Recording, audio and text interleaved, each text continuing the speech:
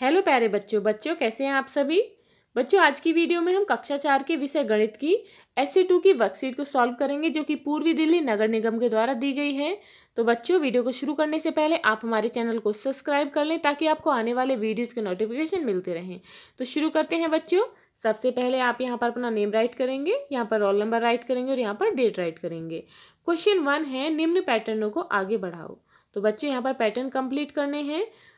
First देखते हैं nine, eighteen, twenty seven. तो यहाँ पर क्या हुआ है? नाइन प्लस हुए हैं तो नाइन के बाद एट्टीन एटीन के बाद नाइन प्लस करेंगे ट्वेंटी सेवन ट्वेंटी सेवन में नाइन प्लस करेंगे थर्टी सिक्स और थर्टी सिक्स में नाइन प्लस करेंगे फोर्टी फाइव। अब देखते हैं अगला पैटर्न, नाइनटीन, सिक्सटीन, थर्टीन। यहाँ पर क्या हुआ है? नाइनटीन में से थ्री का माइनस किया गया है तो थ्री को माइनस करने पर सिक्सटीन सिक्सटीन में से थ्री को माइनस करेंगे थर्टीन थर्टीन से थ्री को माइनस करेंगे टेन और ऐसे ही टेन में से थ्री को माइनस करेंगे सेवन। तो इस तरीके से पैटर्न कंप्लीट करने हैं।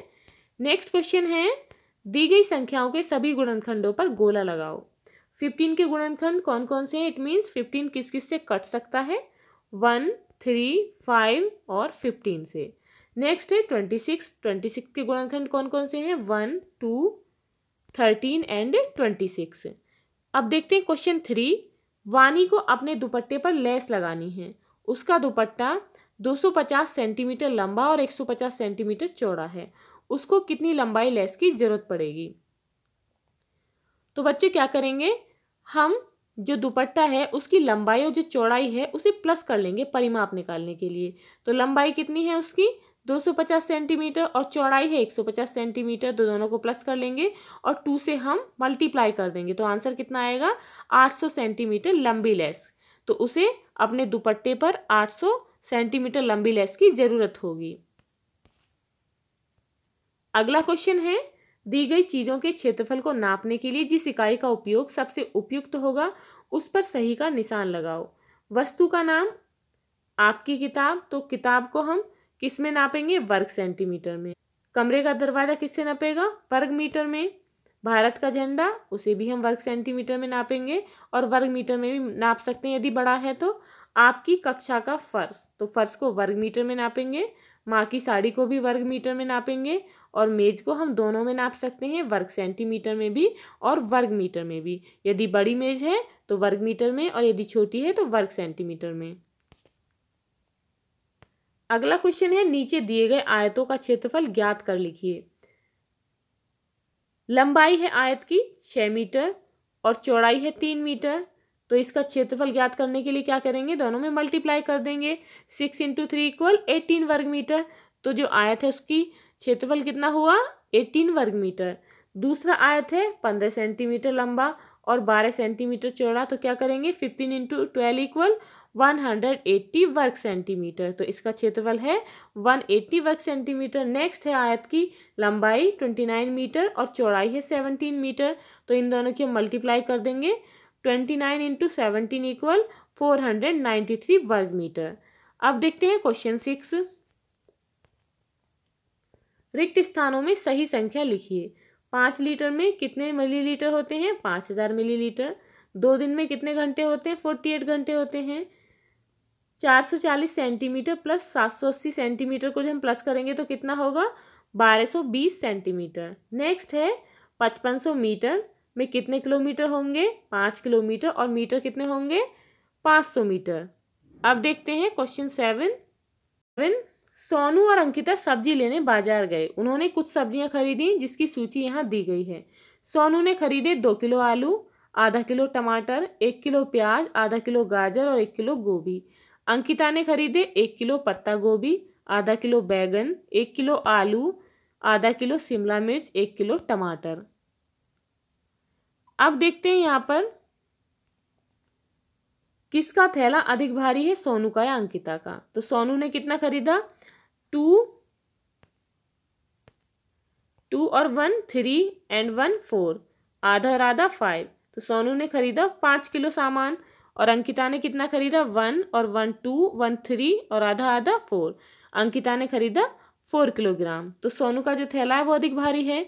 नेक्स्ट है, अगर एक किलोग्राम आलू की कीमत दस रुपये है तो पाँच किलोग्राम आलू की कीमत कितनी होगी? तो बच्चों, क्या करेंगे? सीधा सीधा एक किलोग्राम आलू की कीमत दस रुपये है और यदि पाँच किलो आलू की कीमत कितनी होगी तो हम दस से मल्टीप्लाई कर देंगे फाइव में। Ten into five equal fifty rupees तो दस किलो आलू की कीमत होगी पचास रुपये अब देखते हैं आकृतियों की पहचान। निम्न ठोस आकृतियों को उनके किनारे की आकृति से मिलाओ।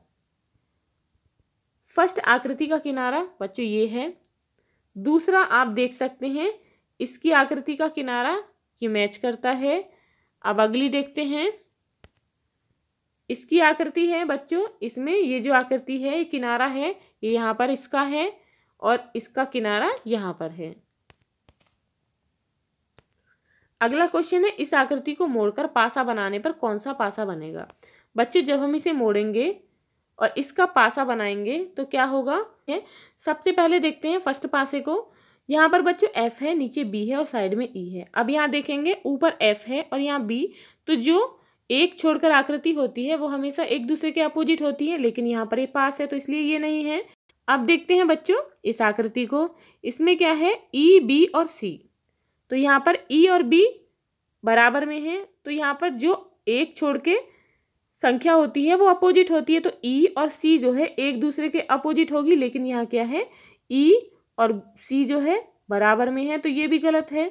अब देखते हैं डी ई ए तो यहाँ पर ए बाहर की तरफ़ है और डी बाहर की तरफ़ है।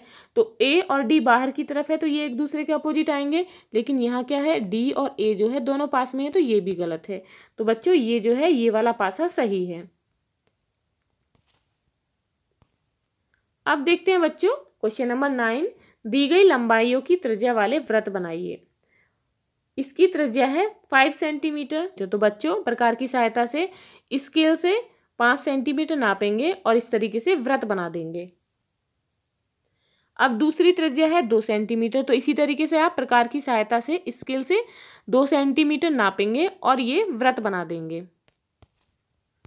अगला क्वेश्चन है, मीना अपने पिता के साथ चिड़ियाघर गई जहाँ उसने अलग अलग तरह के कई पक्षी देखे।